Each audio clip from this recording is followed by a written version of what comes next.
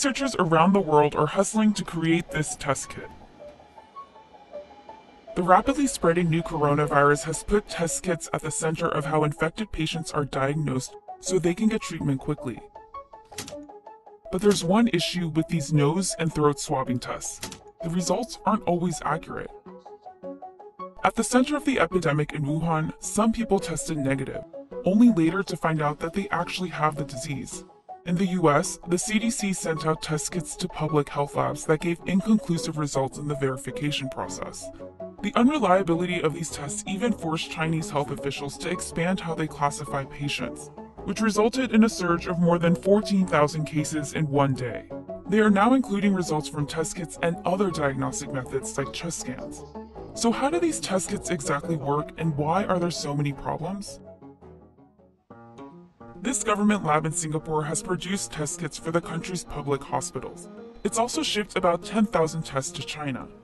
Dr. Sidney Yee leads a team that developed them. She says most doctors use a type of lab test called RT-PCR, which can be used to detect small amounts of pathogens including viruses like HIV. It's pretty easy to use. A doctor collects samples from a patient by swabbing the nose or throat for mucus. Those swabs are then sent to a lab for a test that detects the genetic material of a pathogen. The sample is first mixed with reagents in a tube, then put into a machine that duplicates the genetic material. So if the virus exists, these copies will amplify its presence, confirming that a patient has tested positive for the coronavirus. Dr. Yee says the first place for error could be at the swabbing stage. Another place for error is the time it takes for the sample to reach the lab. The pathogen on the swab is not going to last for many, many hours, so the transportation, the logistics is also important. Transportation is a huge hurdle in Wuhan, where the city has been on lockdown since mid-January. When the sample gets to the lab, what is the infrastructure of the lab that is able to deal with running tests? As well as the expertise and the experience of the lab technicians that are running these tests. Dr. Yee says the most critical moment for human error is when doctors decide to use a test kit. For instance, many people have been showing mild symptoms, but that doesn't mean they don't have the pathogen.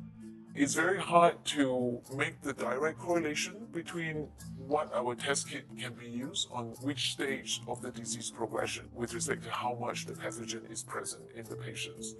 Just how accurately these test kits are being used is on trial in Wuhan. Here, hospitals have been overstretched with limited resources.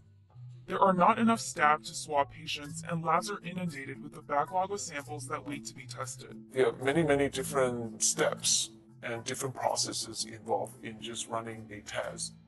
is not just with respect to the test kit itself.